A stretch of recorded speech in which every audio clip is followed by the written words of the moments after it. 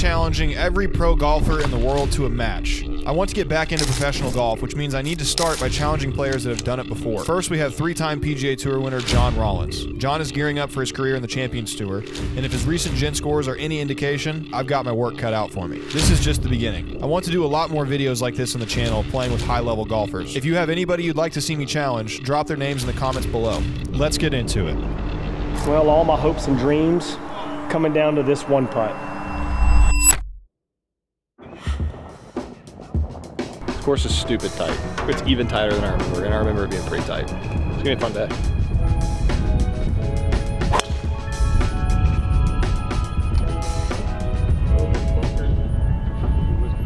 Hopefully short of the water. Is that an issue? That was, I sat back on that one a little bit. I need to get through it better. That's my normal spot. Yeah, this is not very good way to start your day. 137 to the hole, but I've only got two big trees in my way. I'm gonna bring in the Army and bring the ground game in. Try to go with a little low running hook, get it up near the front edge and see what happens.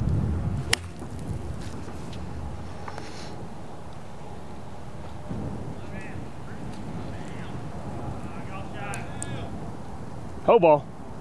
Ho now.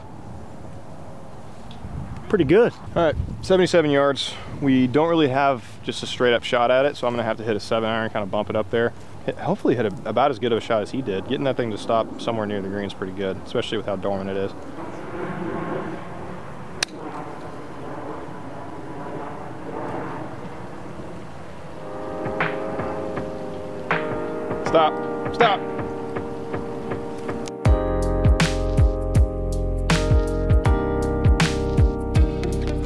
Awkward spot we're in here, especially winter in Dallas. This Bermuda rough is gonna be real, real touchy.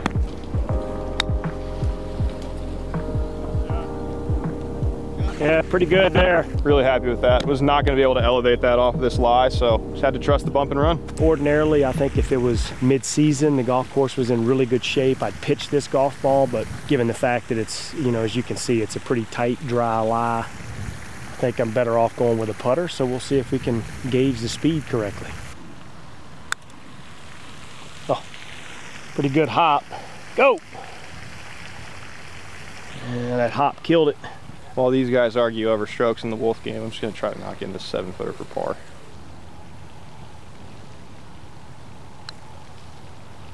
Good putt. What I thought was going to be a friendly match has all of a sudden turned into a little bit of stress here at the first, but got in the wrong train track. Yeah, kind of just like bad luck playing on the greens like they are today. Is what it is, right? It's golf.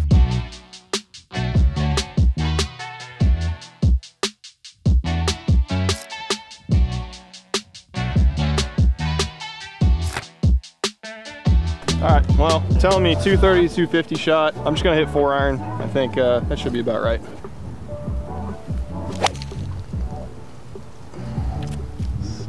Oh, that's a lot of wind up there, huh? Yeah. Ain't gonna hurt you though. Yeah, I had a had a feeling left would be a pretty bad spot to be. Last time I played this hole, I hit draw driver over the corner and had 30 yards in. It might be a little different play this time. I mean, you could have gone that route. With this wind, I don't I don't know if it uh, would have gone too well for me. That's really good. That's really good. Awesome you pulled that off. I've seen probably 100 people try. I got 180 here. Yeah, I think it's a firm eight iron. Bit of a draw lie, so that's gonna help. Just going about five yards left of it. Where's that draw lie? Catch piece. That's way short. Definitely should hit seven. 177. That's with the adjusted uphill. 172 actual. Wind in off the left. Try to hit a low driver. And I overdid it.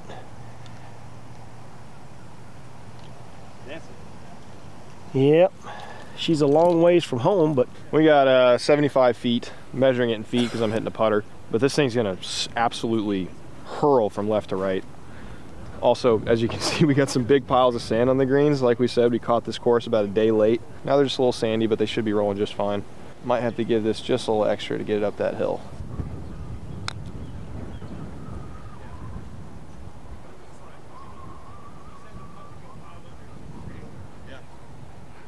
Not all bad. Look at how much that turned. That was crazy. 42 feet. Got to go up and over the slope there. It's going to swing pretty good to the right.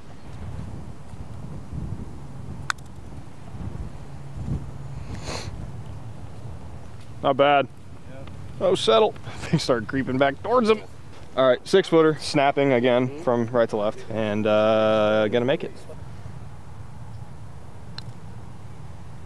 Oh, yeah. That's a good putt. There. Thank you.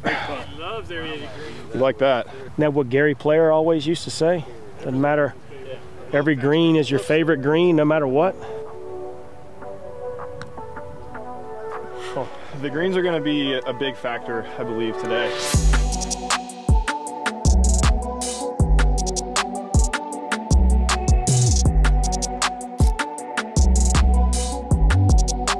Playing Wolf, which means that there's a preset order of play. Whoever won the last hole has nothing to do with who goes first. So John, 97 is what I got. 97, even better. What'd you get? I like 93, Okay, well 90, 93 is the yardage then. but it's only playing about 210. Is that it? All right, 212. I haven't chipped one in short here in a while, so Oh yeah. Uh-oh. Hey there, darling. Hey good, darling. Oh yeah. So good. Nicely done. Okay. is that what the face feels like? All right, John woke up. Plus,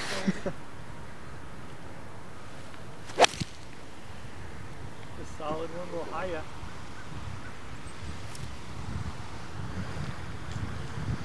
That's gonna be a fun putt. All right, we got about 31 feet here downhill. Not a lot of sand in our way here this time, just holes. Four punched greens, these are not looking too bad. They're not rolling too bad either, at least, you know, it's easy for me to say that. I've made a couple putts so far.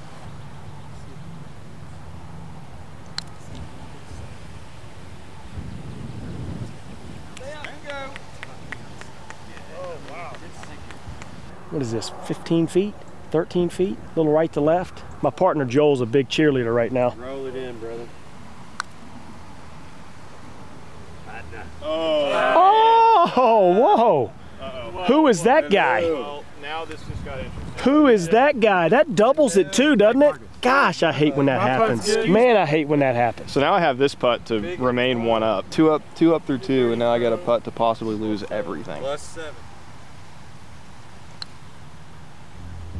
Solid. is in good shape. Solid. I got, you know, I got a little putting tip the other day from um, Steven Bowditch, actually. He told me shorten the backstroke, lift the putter up a little bit more in the through stroke.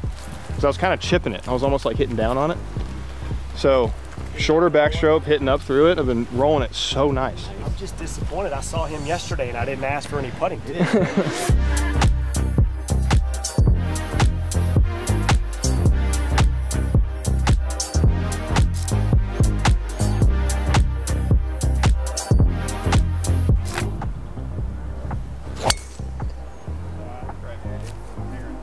Stay right. Stay right. Okay, yeah, sounds great. All right, we got 337 in the middle of the green. Uphill, downwind. I think if I really catch one, I could get on, possibly. Sorry. low wind. That's my partner. Kick left. Come on. Hard. Oh, he hit the tree. bro. Hit the only roll tree up there. That feels like maybe the worst possible luck. From 52 yards, I think is what I shot. Tough little angle here to that back hole location. I got to keep this right of the flag.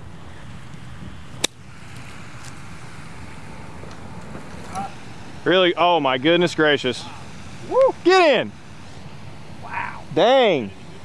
I'm not even gonna walk this off. We're gonna, this is about to make everybody cringe, but 27 paces, that would be 81 feet. I think this thing is literally breaking 35 feet from right to left. That's the one thing about this golf course, man. If you're not close to the hole, you are dealing with a lot of undulation.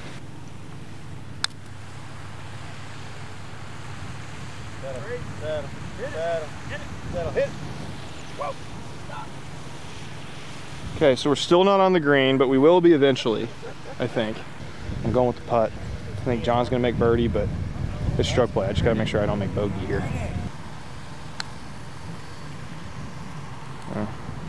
Take that. Honestly, like if, if I decided to chip it and I hit it to that close, I'd be pretty happy with it. So four pars in a row. I'm just an absolute par machine. What can I say? I'm even. John's got a putt here to get the even, so if he makes this three footer, we're gonna be all square through four. Yeah, There we go. I love that. Dripping it in over the front edge.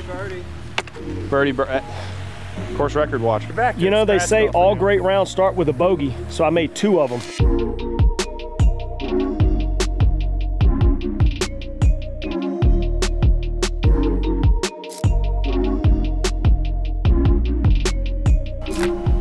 Not on the deck, but on this Yeah, right yeah, up I- in front of the clubhouse Yeah. and put a tee back there for the black tee as well. Yeah, why not? It'd be pretty cool, but I mean,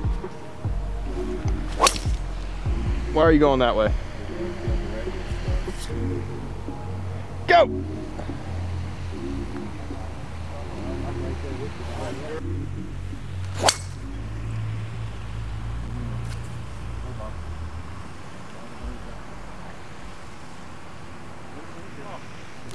So 80 downwind, probably these short shots don't get affected by the wind as much, but still probably 75.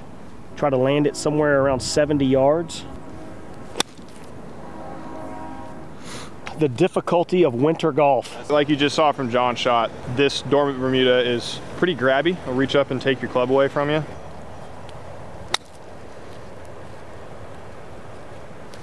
That's pretty good from there. So we were kind of between two options here. Land it here and risk putting it in the bunker with the green running away from us, or hit it here and pretty much guarantee that we were going to have a putt at birdie. I chose the latter.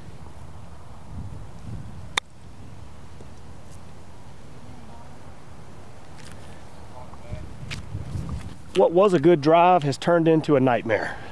All right, I got a 15 footer up the hill for birdie. With John putting for par from 10, this would be a big make. Hammered it. Get in the hole. Hmm. Oh! Got a, got a hold of that one. I've been trying to leave putts short with how fast they are, and I'm just not very good at it, unfortunately. For the first par of the day,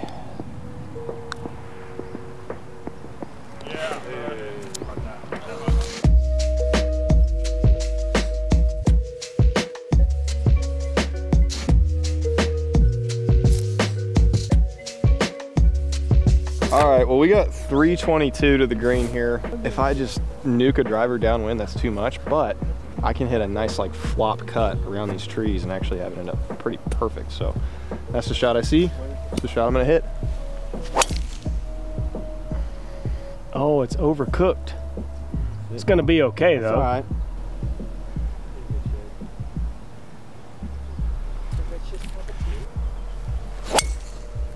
Oh, No, oh. that hit that branch so squarely. Did I need to stop? Did I need to I mean, little branch? that was so flushed. I mean, Hey, the beauty of this is it's going to be documented forever. Both the contact with the driver and the contact with the branch were so flush. 16 at Augusta, go with the skipper.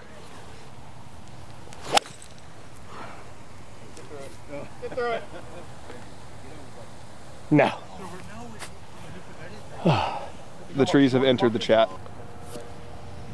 My best guess is 123. Okay.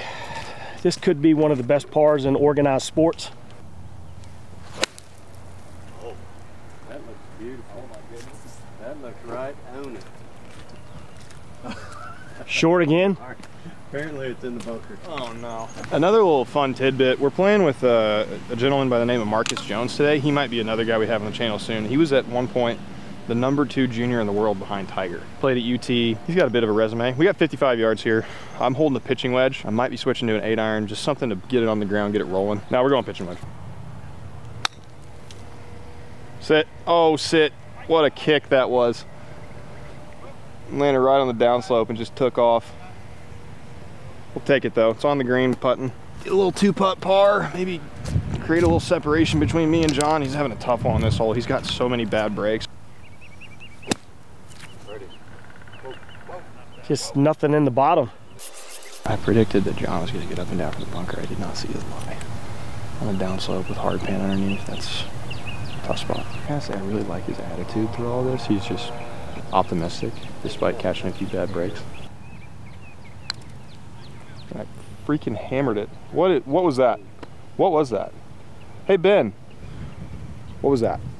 Oh, left to right slider, 20, 22 footer. Sounds like an easy bogey.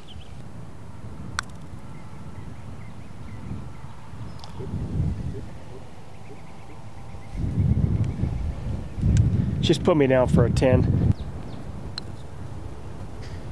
Didn't break.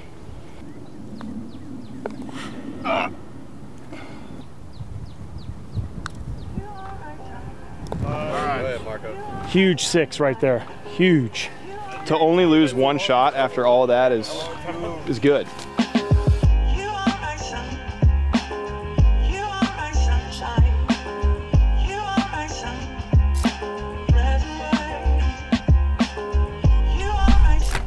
After a delay that I don't care to explain right now, we have skipped to the ninth hole. We're gonna finish this nine hole match on 9, 10, 11. 9 and 11 are par fives, so that's good. Uphill, dog leg right, driver. Yep. That'll play. Take that one. Be disappointed if you don't know. This is complete. yeah, no doubt. Two dollar hole. Do I do I have to wolf right now? For those of you that haven't played Wolf and don't understand what's going on here, it's a five man game. First player to go has to pick a teammate out of the next four players to hit. It's then those two players versus the remaining three. If the first player decides not to pick a player, it's called going Wolf, which is what I'm doing here. I decided to go Wolf, which means that it doubles the bet. So I'm taking this hole from essentially being worth $2 to being worth $16 for me. So a bold play, but I felt like I was going to make birdie, so I thought it was the right decision. Now you understand why this hole might be a little bit extra nerve wracking for me going forward. It doesn't really matter what order you. Hang right there. That ball had the uh, parachute out. Well, I have no, I have an eternity to the green. I got to hit a low banana slice three wood under the canopy of the tree just to get it back in position. Ben's ball is about a Walmart distance between me and him, so he's clearly got an edge here on the hole. But you know, this game is funny. We'll see what happens. Oh, it didn't cut. should be okay. It's just gonna run up the left side, maybe off the path. If it gets far enough, I should have an open shot to the to the flag, so not all bad. Playing about 240 uphill into it. I'm just gonna take a two iron, aim it at the left side of the green, try to peel it in towards it. Almost shanked it. Get a good. That might be okay, possibly. I don't think so though. 86 yards uphill into the wind, pins on top. You got to get it on top to have a, a decent look at it. I'm gonna play this about a 90, 92 yard shot or so. Oh, John, where are you going? Not bad. Stayed on top. Lucky, lucky. Hi. I wish I could have hit this two iron a little better. This was the perfect freaking golf club. 38 yards, looking for about a 30 yard carry. Pins are really not that not in that tough of a spot, but really, really like to make birdie here. That'd be that'd be big for the program.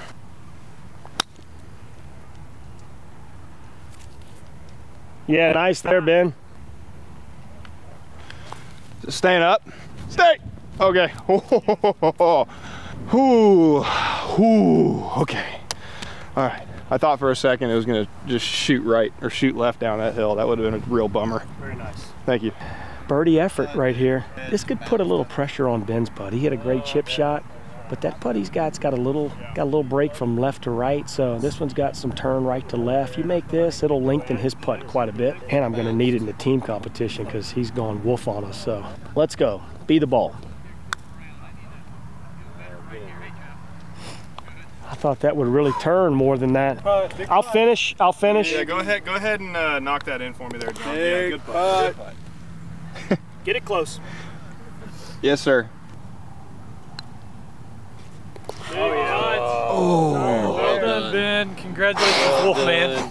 I was real scared after going wolf there. I went wolf and immediately was like, this might have been a bad decision. Made birdie in the match. I think I go up two now with two to play. That's good. But in the wolf game that we haven't been talking about at all, what did I just make $32? I'm buying lunch, Jalen.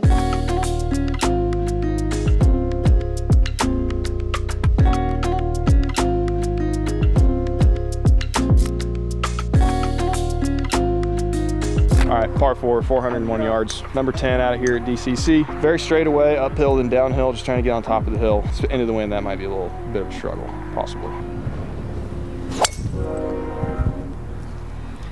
Oh my goodness.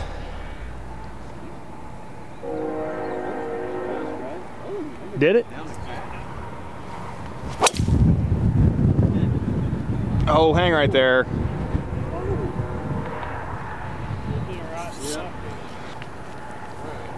I don't know.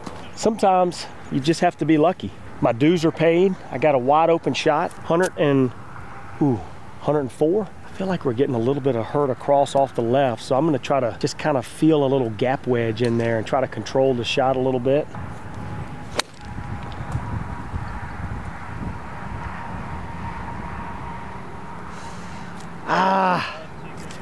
Took too much off of it. I have 78 yards here and a absolutely wide open golf shot. I was not anticipating this at all. Lob wedge in hand. Pin is just sitting there begging for it. Go. Go. Okay. This is a uh, paging the doctor moment. The doctor. Ah, Dr. Chapinski doesn't know how to read the greens. About 20-ish, let's say 24 footer for birdie. Take a three shot lead going into the last. Would like it. The first putt we left short all day. We did it. Is this you right here, John? That's me, yes. I was going to Texas we- blade that wedge in there for you guys. Well, we're going to deprive the viewers of that. Gosh. I am even. John's two over. Going into the last, but it's a par five. Anything can happen. Literally anything.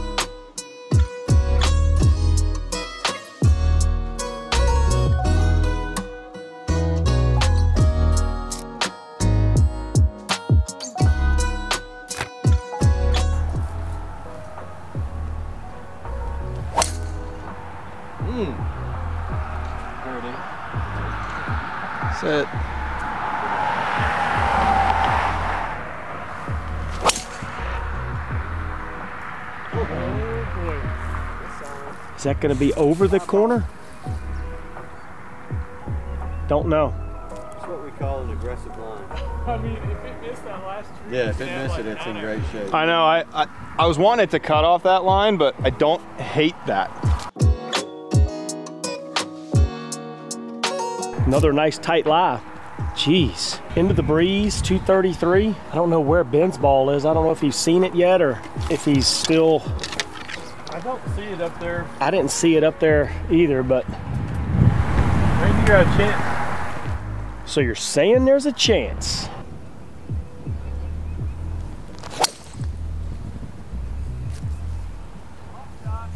Pretty good line. Cut a little. Stay on. Top center of the green, yeah. Top shelf. Top shelf three wood. I'll take it. That's pretty good. Oh, got to fight to the end. Oh, I just stepped on an anthill. Shout out to Sploosh. I just put my bag in an anthill. Okay, we're gonna take a little drop ski. Got a Titleist, Titleist. Got a Callaway too, 215 yards. We're gonna go behind these anthills because I don't want to be in them. We're gonna take a little drop. And I really thought that drive was gonna be okay. 202 flag, interesting. Okay, got a little bit of into. I got a six iron in hand, and honestly, like all things considered, a pretty good looking shot at the green.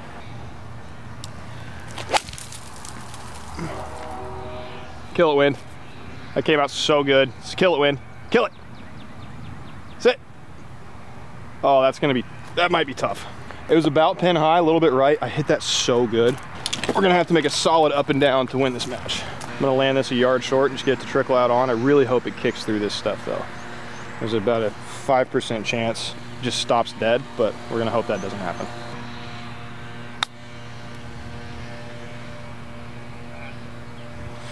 All right, skip through pretty good. I think that's like a three footer for par, which I'll take from there. That's tough.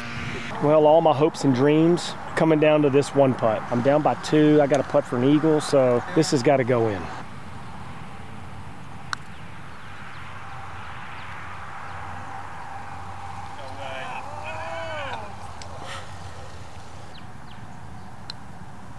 Little par. Very nice. Take that par all day. Go in. I mean, I wasn't, you know.